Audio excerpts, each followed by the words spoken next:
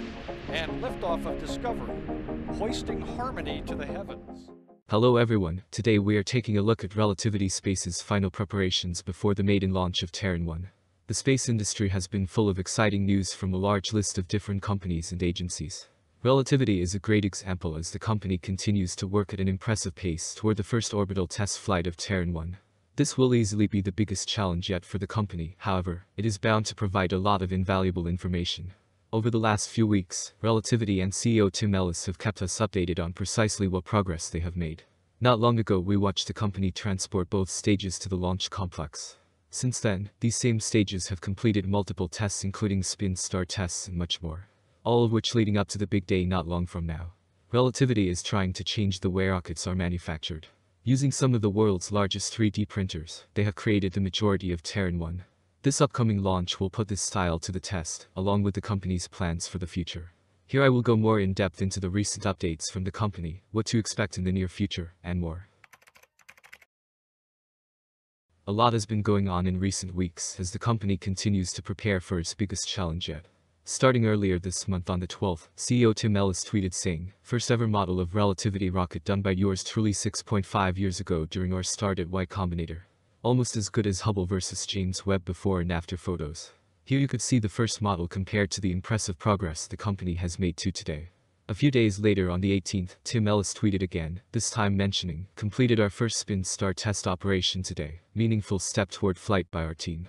Continuing with this pattern, three days later on the 21st, he tweeted again pointing out, second spin start test completed today on all nine engines, full duration and successful test.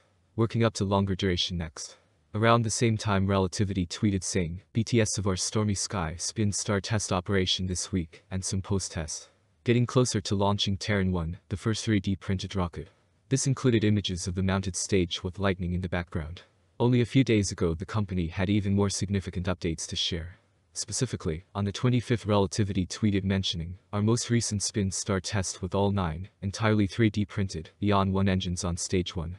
As one of the few liquid oxygen slash liquid natural gas fueled rockets in the industry, Terran 1 is racing to be the first LOX and LNG rocket to fly. This included a short video of the engine's startup under the stage.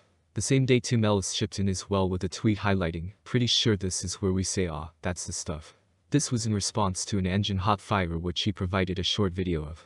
Practically all of this news comes from the company's launch complex.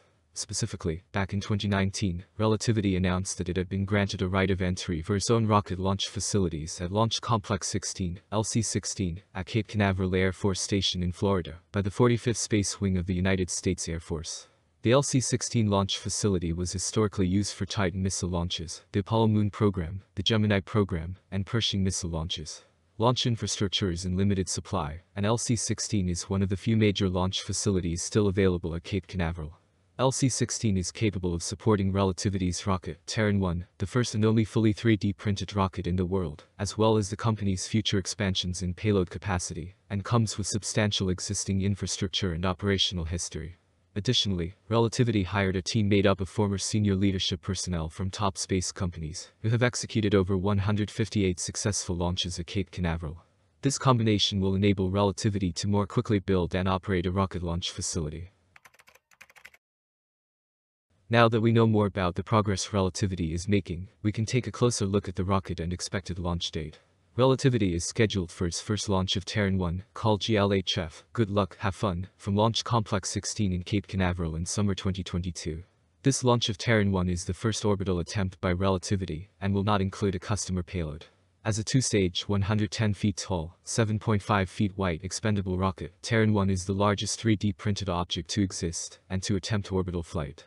Working towards its goal of being 95% 3D printed, Relativity's first Terran 1 vehicle is 85% 3D printed by mass.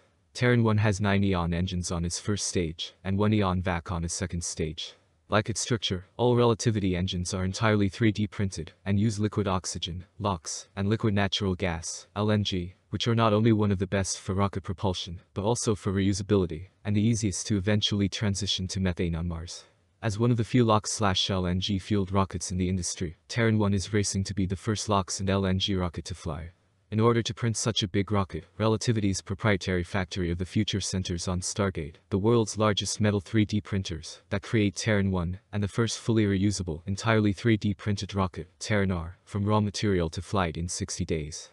Relativity's Stargate printer's patented technology enables an entirely new value chain and innovative structural designs that make Terran 1 and Terran R possible.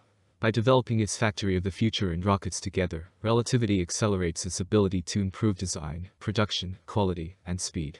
Relativity often highlights that for around 60 years, aerospace manufacturing has relied on large factories, fixed tooling, complex supply chains, and extensive manual labor to build costly rockets, comprised of 100,000 plus parts in two years or longer.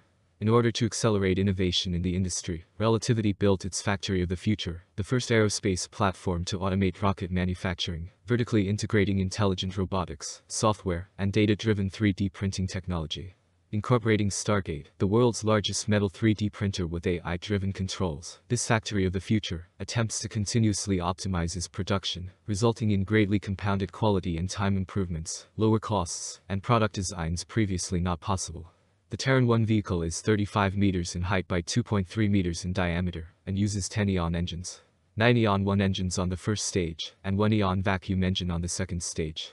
Relativity print all structures and major engine components using proprietary printable metal alloys, which leads to a dramatically simplified manufacturing process when compared to traditional fabrication methods. This will make it possible to shrink vehicle build and integration timelines down to just 60 days.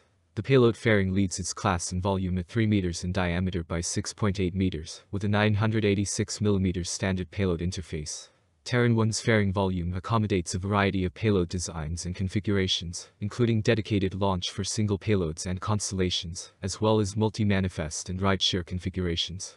Terran 1 is designed for a mission duration of up to 2.5 hours as a standard service.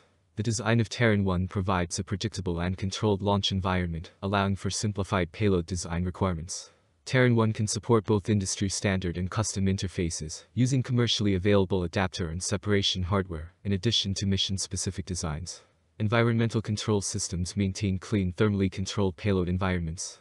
Most of the recent updates from Relativity have highlighted the first stage which is currently mounted at the launch site. Terran 1's first stage assembly consists of three main components the thrust structure, the Stage 1 tank, and the interstage. The tanks share a common dome and airframe that is integrally printed as monolithic sections, where a horizontal welding process integrates Stage 1 segments together to achieve the final stage structure. A transfer tube carries LOX through the center of the LNG tank to the engines. 9 Aeon 1 engines powered the first stage with up to 23,000 pound force thrust per engine at sea level, for a total thrust of up to 207,000 pound force at liftoff. Terran 1 autogenously pressurizes the tanks with gaseous natural gas and gaseous oxygen via heat exchangers integrated into the Aeon 1 engines, eliminating the need for a separate pressurization system and avoiding the use of helium on the vehicle entirely. Relativity space has been especially busy in recent months as some of the final preparations finish. In the last few days alone we have been updated with multiple engine fires, stage mounting, and more. All of which work towards the first orbital test flight expected to happen very soon. We will have to wait and see how it progresses and the impact it has on the space industry. Thank you very much for watching.